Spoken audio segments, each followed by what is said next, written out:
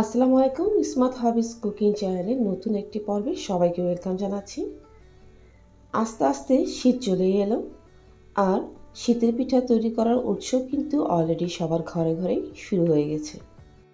আজ রেসিপিতে থাকছে এমন একটি পিঠা যা প্রতিদিনই আমার ঘরে তৈরি করা হয় শীতকালে, আর এই মজাটা কিন্তু শীতকালে পাওয়া যায়। এর নাম হচ্ছে খোলাজালি পিঠা। অনেকে খোলাজা পিঠাও বলে থাকেন। আমার মনে হয় পৃথিবীতে এর যে সহজ আর কম সময়ে তৈরি করা যায় এমন পিঠা আর হয় না। মূলত এই পিঠাটি মাটির খোলায় তৈরি করা হয়। তো আজ আমি ফ্রাই প্যানেই তৈরি করে দেখাবো। তাহলে চলুন কথা না বাড়িয়ে রেসিপিটা শুরু করা যাক। দেড় কাপ চালের গুঁড়া নিয়ে নিয়েছি এখানে। আপনারা ফ্রিজে রাখা চালের গুঁড়ো নিতে পারেন অথবা নর্মাল যে বয়ামে ভরে রাখা চালের গুঁড়ো সেটাও নিতে পারেন। যে দিয়ে দিচ্ছি আধা চামচ লবণ। এর সাথে প্রায় এক কাপ কুমকুম গরম পানি মিশিয়ে দিচ্ছি। কুমকুম গরম পানি অর্থাৎ একটা আঙুল ডুবিয়ে সহ্য করা যায় এমন গরম পানি। তবে মিশিয়ে নিলাম। লবণের স্বাদটা কম বেশি বাড়িয়ে নিতে পারেন। দশ মিনিটের জন্য রেস্টে রাখছি। এতে করে পানিটা একটু ঠান্ডা হয়ে যাবে। এবার দিয়ে দিচ্ছি রুম টেম্পারেচার রাখা একটি ডিম। আপনারা চাইলে দুইটি ডিম এতে দিতে পারেন। এতে করে এর স্বাদটা আরও বেড়ে যাবে। তো আমি একটু কিপটিমে করছি আর কি। ডিমটি মিশিয়ে নিলাম। আর কনসিস্টেন্সি ঠিক এমনটাই হবে যেমনটা দেখতে পাচ্ছেন।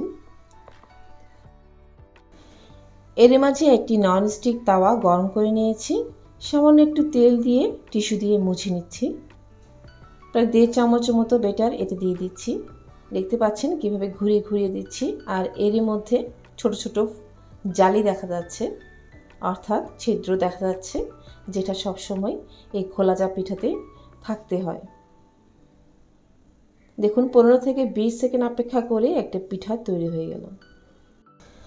যারা মাটির খোলায় না বানিয়ে তাওয়ায় বানাতে চান, এভাবে বানিয়ে নিতে পারেন খোলা জালি পিঠা। এভাবে করে আমি সবগুলো পিঠা তৈরি করে নিয়েছি। পিঠেটি মাংসের ঝোল অথবা নারকেল আর রাব দিয়েও কিন্তু খেতে অনেক মজা।